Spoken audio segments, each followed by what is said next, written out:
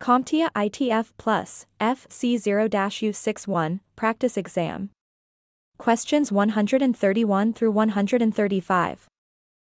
This video is part of our practice exam video series, and is filled with questions that closely resemble the real exam. So are you prepared to test your knowledge? Great, let's begin. Question 131. When a technician hears a systems administrator refer to IOPS, which specific operating system activity is most directly related to this term?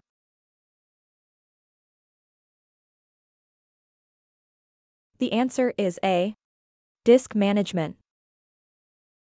IOPS, standing for Input-Output Operations per Second, is a key metric in disk management, assessing how efficiently storage devices handle data transactions. This measurement is used by system administrators to understand the responsiveness of storage systems, directly influencing decisions about storage configurations and hardware. Question 132. Which computer component is responsible for enabling network communication?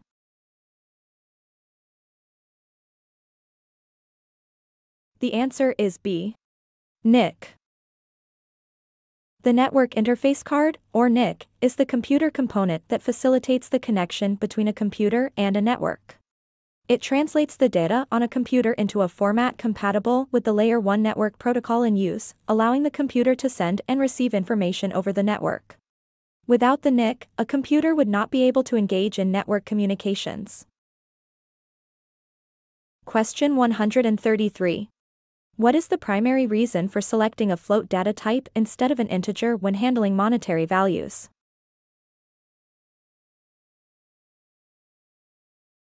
The answer is D. Floats can support decimal values. Using float data types is preferred when working with monetary values because they accommodate decimals.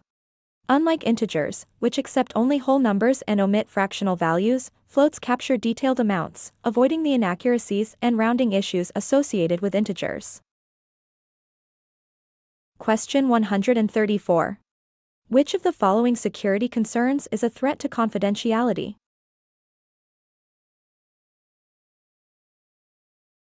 The answer is D. Dumpster diving. Dumpster diving poses a threat to confidentiality as it involves individuals searching through garbage to locate sensitive information.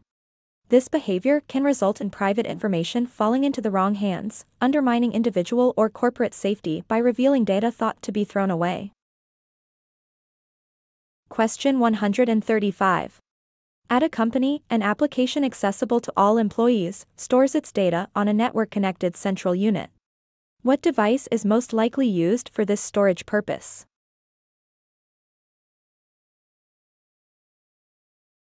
The answer is A. Server. In a business setting, servers are commonly used for centralized data storage, allowing multiple users to access shared information from any authorized computer on the network. This type of setup promotes efficient data management and security controls.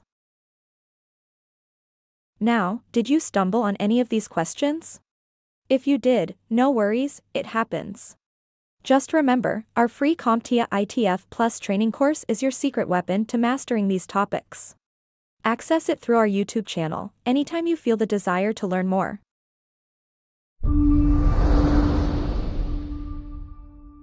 Thank you for watching. Subscribe for more great content.